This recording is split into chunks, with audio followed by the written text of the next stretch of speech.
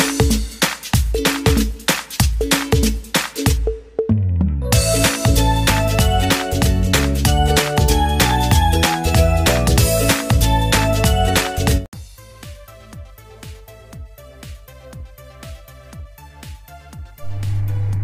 Friends कैसे हैं आप सब फ्रेंड्स आज हम बनाएँगे नामस्टिक की बहुत ही डिलीशियस सी सब्ज़ी और वो भी बहुत ही सिंपल तरीके से, जो कि मिनटों में बन के तैयार हो जाएँगे। तो आइए फिर स्टार्ट करते हैं। हमारा ये बहुत ही डिलीशियस सा रेसिपी तैयार करते हैं।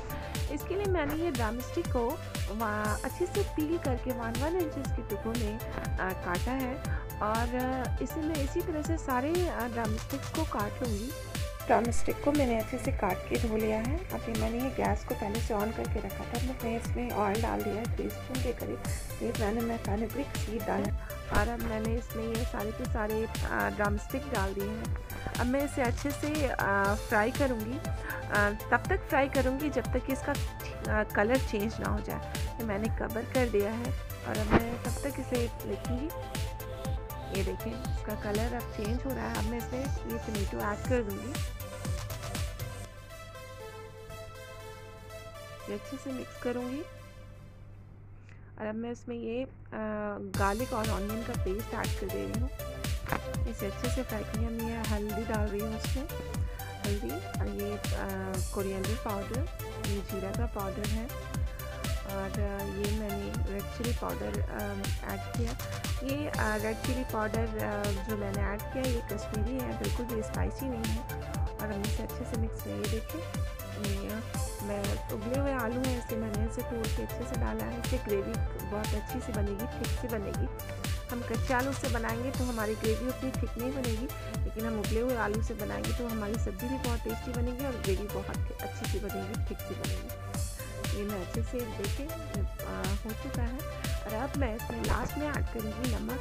अगर मैं नमक पहले ऐड कर देती तो ये सारे के सारे ड्रम स्टिक टूट जाते हैं जो कि देखने में भी अच्छे नहीं लगते और खाने में भी। इसलिए मैंने जब भी आप ड्रम स्टिक की सब्ज़ी बनाएँ तो लास्ट में नमक ऐड करें। ये देखिए, हमारा ये मसाला अच्छे से भुन चुका है। और अब मैं इसमें ये हॉट वाटर जो मैंने कैटल में गर्म करके रखा था, वो मैं इसमें ऐड कर रही हूँ। हॉट वाटर ऐड करने से फ्रेंड्स आपकी सब्ज़ी की कलर चेंज नहीं होगी। अब इसकी कुकिंग की प्रोसेस चलती रहेगी। तो आप जब भी भी अगर इस तरह का कुछ बनाएँ तो हॉट वाटर यूज़ करें। उसके बहुत सारे फ़ायदे हैं। और आपकी कुकिंग की प्रोसेस चलती रहेगी। कलर बिल्कुल चेंज नहीं होगा। ये देखिए, हमारी ये सब्ज़ी बन के बिल्कुल तैयार होगी आप अपने हिसाब से ग्रेवी डालें। जिस हिसाब से आपको खाना है, रोटी, चपाती या नान जिस किसी भी चीज़ के साथ। मुझे ये चावल पे सर्व करना है, इसलिए मैंने इस तरह की ग्रेवी डाली है। अगर आपको रोटी के साथ खाना हो तो बहुत ज़्यादा ग्रेवी ना डालें। और ये देखिए, हमारा ये ड्रम स्टिक बिल्कुल टूटा भी नहीं है और बहुत अच्छे से पक चुका है। और अब मैं गैस का फ्लेम ऑफ़ कर दूँगी और अब मैं आपको इसको ये सर्व करके दिखाती हूँ। ठीक है मैंने इसे सर्व किया है। अब मैं इसके ऊपर ये गार्निशिंग कर हूँ ऑनियन और ये लेमन और ये ग्रीन चिली के साथ। और इस तरह से आप भी बनाएँ और अपनी फैमिली और फ्रेंड्स सबके साथ शेयर करें। और मुझे कमेंट्स में बताएँ कि आपको ये रेसिपी कैसी लगी।